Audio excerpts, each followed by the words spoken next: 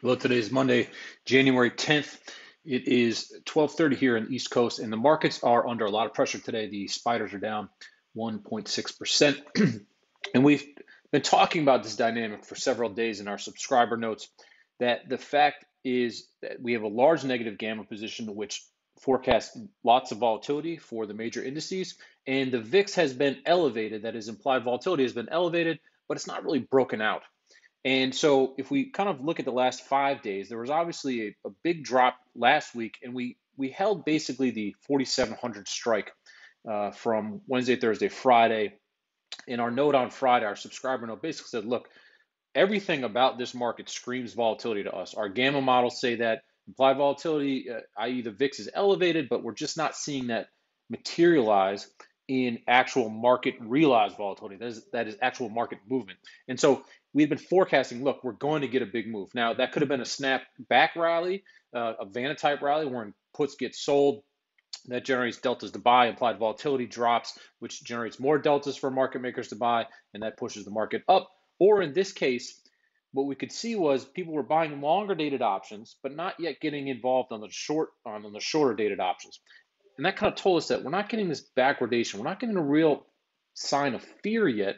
And so we just weren't convinced that the sell off is done. And we wanted to kind of touch on this idea is, is the sell off over? Here you can see for the spiders, we're down around the 459 area. If we flip to the SPX, which is where we tend to write most of our uh, levels in SpotGamma, you can see that we touched this 482 line just above 4580 we bounced to 4620. Now 4620 is exactly equal to 460 in spiders, and now we're kind of stuck in the middle. So if you look at our subscriber note from this morning, you can see we, we were looking for high levels of implied volatility, and we highlighted this 4580 area as a big support line in the SPX because of a change in gamma. And we saw gamma changing at that level. And what that means basically is we thought dealers would have to act if the market drew down and quickly hit that line. So that appears so far to be the case as to you know what is going on in the market. We basically hit this level, kind of an exhaustion level, or a place where in dealers or market makers want to buy some hedges. They did so, and that created a bounce, and now we're threatening to kind of drift back down. We're just tied in this immediate area. So, what is the major signal that we're watching? Well, I want to show you a chart we put on Twitter a couple days ago. This is on the 7th, but the chart really remains the same, uh, or remained the same, I should say, into last night. And basically, what we're looking at here is we're looking at the implied volatility of the S&P 500 that is the spider options. And so what you can see here on the right side, these are days to expiration. So if a if you see a purple dot, that's a 5 days to expiration option and this goes all the way up all the way up to 30 days to expiration, which is yellow. And basically what we're showing here is the closing implied volatility for a 30 delta put that has anywhere between 5 and 30 days to expiration. Now, if you see the purple dots, are on the low side of the line. So obviously each one of these is a different day. So if the purple dots are on the bottom and the yellow or green color dots are on the top, that's telling us that the market has what's called contango. And that's a normal market, a market that's not too nervous about uh, the future. It's a calm market.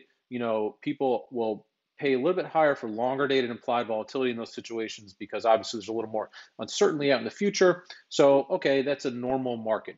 Short dated, we're pretty sure what's going to happen in the market, so we're not going to play uh, a very high level of implied volatility. That is puts are relatively cheap and very short dated. And then again, out in time, things get a little more uncertain. So again, a normal market, I'll pay a bit more. So this is a what we call contango. Now, when the markets have a lot of fear in them, as I've highlighted here, we get backwardation. And what that means is that short dated spider puts, or any puts for that matter, will have a much higher implied volatility level than longer dated options. And that's because in the short term, people get really nervous, they demand protection, and they run into, again, shorter dated puts as a way to hedge themselves. So that's a fear signal. You could see that in late uh, November, early December, we had a lot of fear, right? You could see very quickly we flipped from a contango market to a backwardated market, meaning people don't really care about short dated puts. Then, bam, all of a sudden they care and there's fear. This fear is generally a good sign that you know there's kind of a panic of sorts and can often be a signal that we have something of a low in the market. Now, we don't always have to flip from contango to backwardation. We can sort of flatten, have a flat term structure, and the market decides it has found a bottom.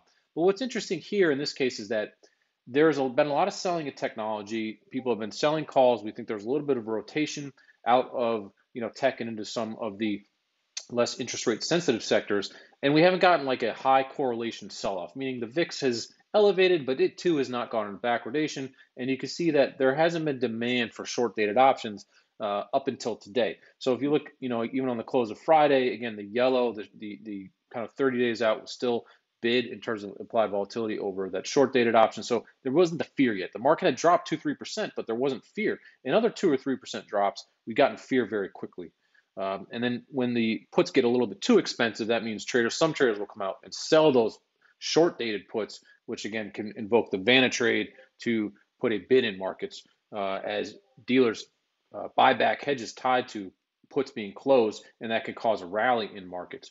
Now, what we wanted to show is this the current term structure, which we see finally starting to shift. So if we now look at the system called ConvexValue, uh, we can look at the term structure in the S&P 500. So remember before I showed you the idea of a contango market. So if you just look at an average day here, these are the spider at the money options, you can see that the near-term stuff uh, has a very low implied volatility, and then as you get out in time, uh, the implied volatility gets higher. Well, what you could see happening today is this yellow line is that the really short dated stuff is now starting to perk up. People are starting to get some more demand. They're a little more nervous about the short term. They're getting a little more crash protection in place now. And so the term structure is starting to flatten out. Now, if there was real fear, we would get this whole section in here to shift higher, and then we get a real backwardated curve uh, that shows that, okay, the market is in a panic mode. And that can be a signal that there is an interim bottom. So what we are seeing here is the market digesting some of these lower prices, but we have not seen real fear yet. Uh, and so that suggests to us that there is reasons to expect that there is could be some more downside here, and we are not looking for that rally yet because again, that fear's not. We can't play off that panic yet. If you want to know what we think going in the future, you can head over to spotgamma.com.